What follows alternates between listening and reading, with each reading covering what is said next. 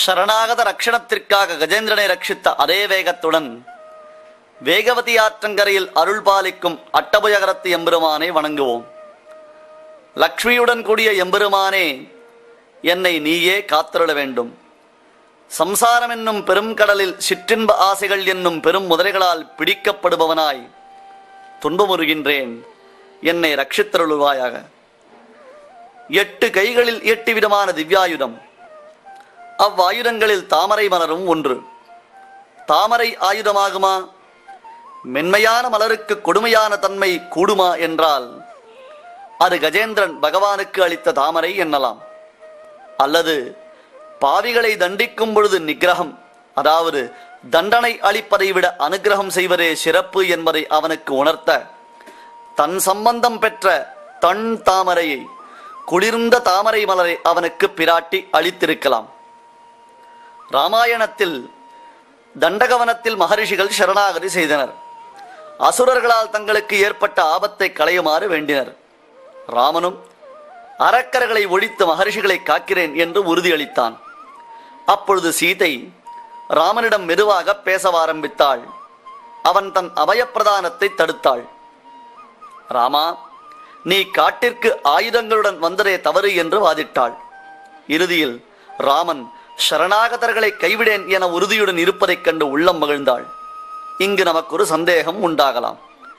கருணைக்கு உறைவிடமான தாய் மகர்ஷிகளுக்கு அபயமளித்த ராமனை எவ்விடம் தடுக்கலாம் என்ற கேள்வி எழுகின்றது. அதன் பதில் பிராட்டி ராமனை தடுக்கவில்லை என்பதே உண்மை.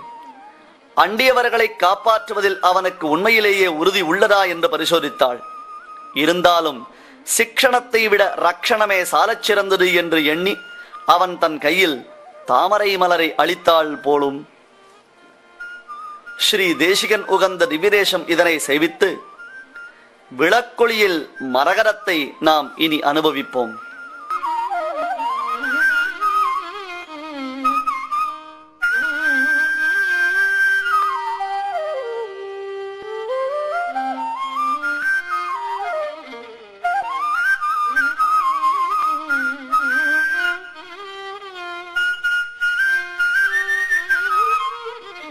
வேகவதி ஆற்றின் கரையில் சுடர்விடும் தீப ஒளி இங்கே ஒளிருகின்றது. விளக்கொளி எம்பெருமான் உலகத்திற்கு ஞான தீபத்தை தந்தருளுகிறான். மரகத மணித்தடம் ஒன்று தாமரை மங்கையுடன் சேவை சாதிப்பதை சேவியுங்கள். பச்சைமா மலைபோல் மேனியாக ஒளிருவதற்கு பக்கத்தில் இருக்கும் பிராட்டி என்றோ காரணமாய் அமைகின்றாள். இருள் சூழ்ந்த உலகிற்கு தீப ஒளியாகிறான் மரகரவல்லியுடன் கூடிய தீபப்பிரகாசன் இவ்வொளி புறம் அகம் என்னும் இரண்டு இருட்டையும் போக்கடிப்பது. அறியாமை என்னும் இருளகற்றுபவர் ஆச்சாரியர். எனவே அவருக்கு குரு என்பது பெயர். தீபப்பிரகாச திவ்ய தம்பதிகள் சுவாமி ஸ்ரீ வேதாந்ததேசிகனாம் ஆச்சாரியனை அவதரிக்கச் செய்து உலகில் தத்துவஞானம் அறியாமை என்னும் இருள் அகற்றுகின்றனர். சரணாகதி தீபிகா என்னும் அத்புத ஸ்தோத்திரத்தில் இத்தம்பதிகள் திருவடிகளில் சரணாகதி செய்கிறார் சுவாமி ஸ்ரீ தேசிகன் விளக்குழி எம்பெருமானே உன் திருமேனி இயற்கையிலேயே மரகதமணி போன்றதாயினும் வேகவதி ஆற்றில் தாமரைக்காட்டில் விளையாடிக் கொண்டிருந்த பிராட்டி ஓடி வந்து உன்னை தழுவிக்கொண்டாள் அவள் தன் திருமேனி ஒளியினால் அன்றோ நீ விளக்கொளியம் பெருமான் என்னும் பெயர் பெற்றாய். அத்தகு பிராட்டியின் திருவருளால் எங்களின் தேசிகோத்தமன் எங்களுக்கு கிடைத்தார்.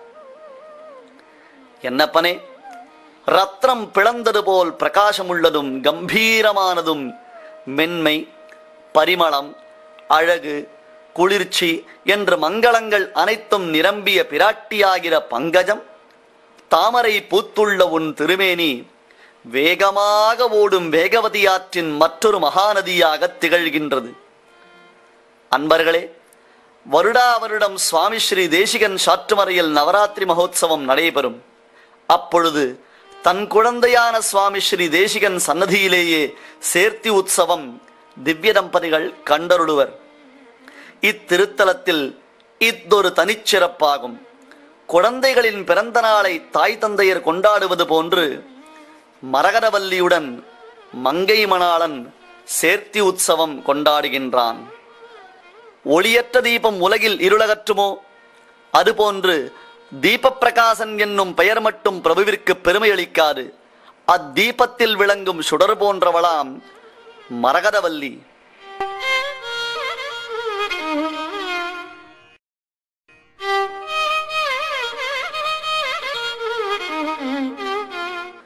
இனி அயர்வரும் அமரர்கள் அதிபதியான பெருந்தேவி மணாளனின் தாழ்பணிவோம். இவன் வரம் தரும் மாமணிவண்ணன் பெருந்தேவி தாயாரின் திருக்கண் கடாட்சத்திற்கு பாத்திரமானவன். வேரி மாறாத பூமேலிருப்பாள் வினை தீர்க்குமே என்பதாக வாசனை மிகுந்த தாமரையில் பொற்றாமரையில் பிருகுமகர்ஷியின் தவத்தின் பயனாக பிறந்தவள் பெருந்தேவி. மகாதேவியை ச வித்மஹே விஷ்ணு பத்னியை ச தீமகி என்று வேதங்களும் இவள் வைபவத்தை கொண்டாடுகின்றன. மகாதேவி என்றால் பெருந்தேவி என்பது அர்த்தம். பெருந்தேவியின் சம்பந்தம் வரதனை பேரருளாளனாக்குகின்றது ஆவிர்பாவ கலச அத்வரேவாபி யஸ்யாஹ ஸ்தானம் யஸ்யாஹ சரசிஜவனம் விஷ்ணுவக்ஷஸ்தலம் வா. கோப்பெருந்தேவியே நீ அவதரித்தது திருப்பார் கடலிலா அல்லது பிருகுமகரிஷியின் யாகத்திலா? அதனால்தான் உனக்கு வாரிஜா என்றும் பார்கவி என்றும் திருநாமம் உண்டானதோ? அதிருக்கட்டும் நீ நித்தியவாசம் செய்வது தாமரை பூத்த தடாகத்திலா அல்லது என் அப்பன் வரதன் திருமார்பிலா?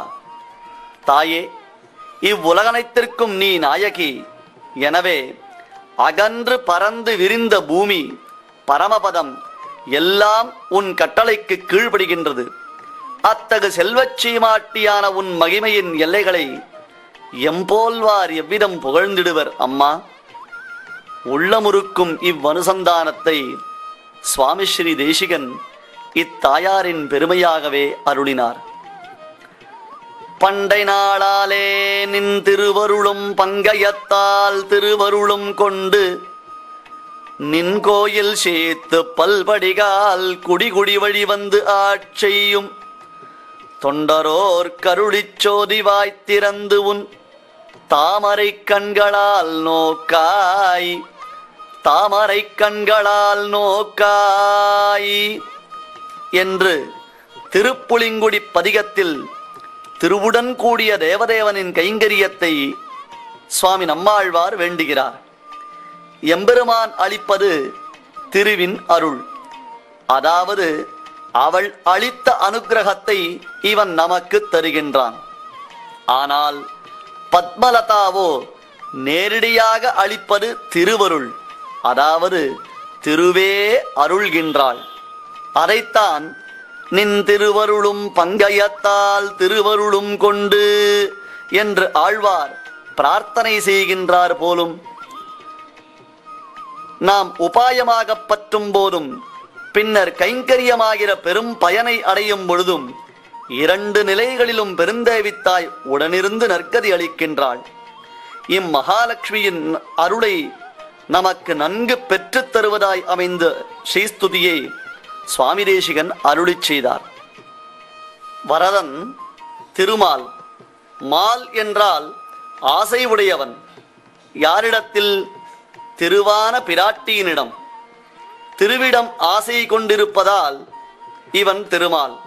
அல்லது திரு இவனிடம் வாசம் செய்வதால் இவன் திருவின் திரு ஸ்ரீயப்பதி. உலகை காப்பவன் தேவராஜன். ஒருவன் சாஸ்திரங்கள் கூறும் வழியில் தன் தர்மானுஷ்டானங்களையும் விரதங்களையும் கடைபிடிக்க மனைவி மிகவும் அவசியம். இல்லற தர்மத்தை இடையறாது செய்ய மனைவியும் ஒத்துழைக்க வேண்டும். எனவே உலகை காப்பாற்றுவதற்காக கங்கணம் கட்டி கொண்டுள்ள வரதனுக்கு உடன் ஒத்துழைக்கும் சகதர்மச்சாரிணியாக ஒருமித்த கருத்துடைய ஆருயிர் தோழியாக தாயே உன்னை சொல்வார்கள்.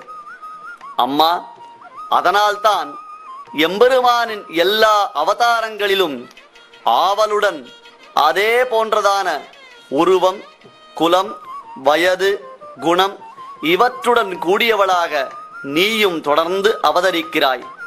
அது எப்படி உள்ளது தெரியுமா? பார்க்கடலின் அலைகள் கரையின் தூரத்தில் தெரித்தாலும் அதன் இனிமை மாறுமோ? அந்த சுவையும் கூட தொடர்வது போன்று உன் திவ்யாவதாரங்கள். திருமால் திருவே தடங்கலற்ற அன்பு பரஸ்பரம் இழையோடி தினைத்தனையும் பிரிவின்றி வரதனும் நீயும் ஒருவருக்கொருவரே ஓமையுடன் உவகையுடன் உயர்ந்த குணங்கள் நிரம்பிய திவ்ய தம்பதிகளாக உள்ளீர்கள். உங்களுக்கு விளையாடி பொதுபோக்கும் இடமாக சிலர் ஆதிசேஷனை கூறுகின்றனர். வேறு சிலர் மகாத்மாக்களின் மனதை கூறுகின்றனர். மகான்களின் மனது மகிமை பொருந்திய திவ்ய தம்பதிகளின் உறைவிடம். வேறு சிலர் வேதாந்தத்தில் நடுவில் விளங்குபவர்கள் என்பார்கள்.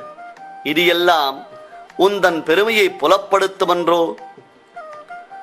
கொள்ளை அடகுடைய பிராட்டியும் பெருமாளும் நம் உள்ளங்களை கொள்ளை கொள்கின்றனர். ஆகாரத்ரய சம்பன்னாம் அரவிந்த நிவாசினி அசேஷ ஜெகதீஷித்ரீ வந்தே வரத வல்லபாம் திருமகள் மண்மகள் நீளை என்று மூன்று வடிவு கொண்ட மகாலட்சுமியின் சர்வாவயவ சௌந்தரியத்திற்கு ஆலத்தி வழிக்கிறோம் இங்கு.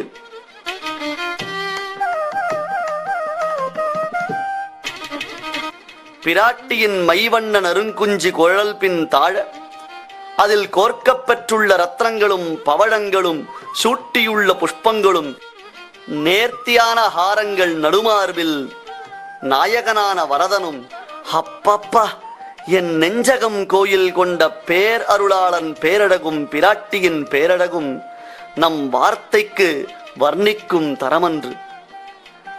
அன்பர்களே நாம் இங்கு ஒரு ராமாயண சம்பவத்தையும் அனுபவிப்போம்.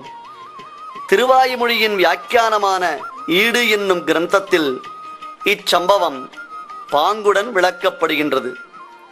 ராமன் சீதையை தேடி கிஷ்கிந்தைக்கு வருகிறான். அப்பொழுது சுக்ரீவன் முன்பொரு நாள் ராவணன் தூக்கிச் சென்ற பொழுது ஆகாயத்திலிருந்து சீதை கழற்றி எறிந்த சில திருவாபரணங்களை காட்டி இவைகள் தாயாருடையதா? என்று கேட்கிறான். அதை கண்டதும் ராமனுக்கு பழைய ஞாபகங்கள் வெள்ளமிடுகின்றன. தசரதன் கௌசல்யை ஜனகர் அனசூயை மற்றும் விளையாட்டு பந்தயத்தில் தான் தோற்று அளித்தது என சில திருவாபரணங்களை கண்டான். தான் எதிர்ஷ்டுவா மகாருஹாணி தரிசயித்வா முகுர்முகு என்று வால்மீகியும் வர்ணிக்கின்றார். இங்கு மகாருஹாணி என்றால் விலைமதிப்பற்றவை என்னும் பொருளைக் காட்டிலும் பிராட்டியின் திருமேனியை எப்பொழுதும் ஸ்பரிசிக்கும் பாக்கியம் பெற்றவை என்பதே சுவையான பொருள். அதுபோன்று இங்கு மீண்டும் மீண்டும் திவ்ய தம்பதிகளின் திருமேனி ஆபரணங்களை நாம் சேவிக்கின்றோம். ஒரு குடைக்கீழ் வீற்றிருந்து கரிகிரி மேல் கமலையுடன் அரசாளும் தேவாதி தேவன் அனன்யா ராகவேனாகம் பாஸ்கரேண பிரபாயதா சூரியனை விட்டு ஒளி பிரியாதார் போலே ராமனை விட்டு நான் ஒரு க்ஷணமும் பிரிந்தறிய மாட்டேன் என்கின்றாள் பிராட்டி. எம்பெருமானுக்கே ஒளி தருபவளாம் மங்களங்களை அருளும் மகாலட்சுமி ஒரு சமயம் பிரம்மச்சாரி ஒருவன் தன் விவாகத்திற்காக பொருள் வேண்டி சுவாமி தேசிகனிடம் வந்து பொருளை யாச்சித்தான். சுவாமியோ சேஷி தம்பதிகளான வரதன் பெருந்தேவி தாயாரை தவிர்த்து மற்றொரு நிதியை அறிந்தவர் இல்லை அஸ்திமே ஹஸ்திசைலாகிரே வஸ்து பைத்தாமகம் தனம் என்பதாக தானோ தன் தந்தையோ சொத்து சேர்க்கவில்லை. தன் பாட்டனாரான பிரம்மதேவர் வரதன் பெருந்தேவி என்னும் சொத்தை தனக்கு அளித்துள்ளதாக கருதுவார். இருப்பினும் தன்னிடம் ஒருத்தன் யாச்சித்ததினாலே அவனுக்கு தாயாரின் கடாட்சத்தை வேண்டி அவள் அருள் பெற்றுத்தர வேண்டி இங்குள்ள பெருந்தேவி தாயார் சன்னதியில் அவள் விஷயமான ஸ்ரீஸ்துதியை சுவாமி தேசிகன் அனுசந்தித்தார். அப்பொழுது என்ன ஆச்சரியம் தேவியின் இன்னருளால் பொற்காச மழை பொழிந்தது. சர்வைஸ்வரியங்களை அருளும் அன்னையின் கருணைக்கு இது சாதாரணம். அற்புதமான அந்த ஸ்லோகத்தை நாமும் அனுசந்தானம் செய்வோம். அழகிய தாமரையாளின் அனுகிரகம் பெறுவோம்.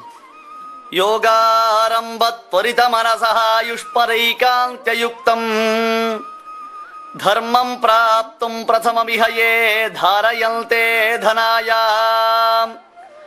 தேஷாம் பூமேகே தனபதி கிருஹாத் அம்பராரம்புதேர்வா தாரா நிர்யாத்தியதிகமதிகம் வாஞ்சிதானாம் வசூனாம் தேவி உங்களிடத்தில் பக்தி செய்ய வேண்டி அதற்கு அங்கங்களான ஆச்சார சீலர்கள் தர்மங்களை அனுஷ்டிக்கின்றனர். வேதம் விரித்த வழியில் தர்மங்களை செய்வதற்கு பொருட்செலவாகின்றது. அப்போது அவர்கள் உன் உபாசனையை முக்கியமாகச் செய்கின்றனர். அதன் பலன் பூமியிலிருந்து புதையலாகவோ குபேரன் வீட்டிலிருந்தோ ஆகாயத்தில் இருந்தோ கடலில் இருந்தோ வேண்டிய பணம் மேன்மேலும் வெள்ளமிடுகின்றது என்பது இதன் பொருள்.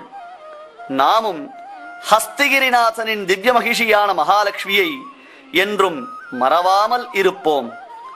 லக்ஷ்மி பத்மா க்ஷீரோர சம்பவா அதாவது திருப்பார்க்கடலில் உதித்தவள் விஷ்ணு பத்னி இந்திரா போன்றவை பெருந்தேவித்தாயாரின் அழகிய திருநாமங்கள்.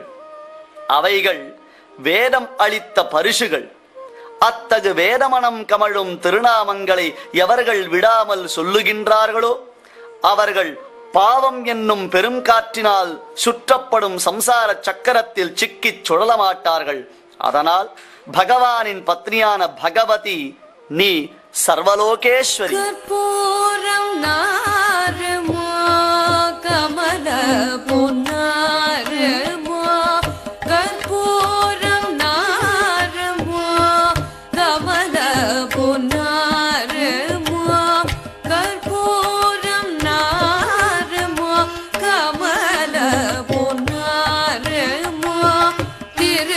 वणचो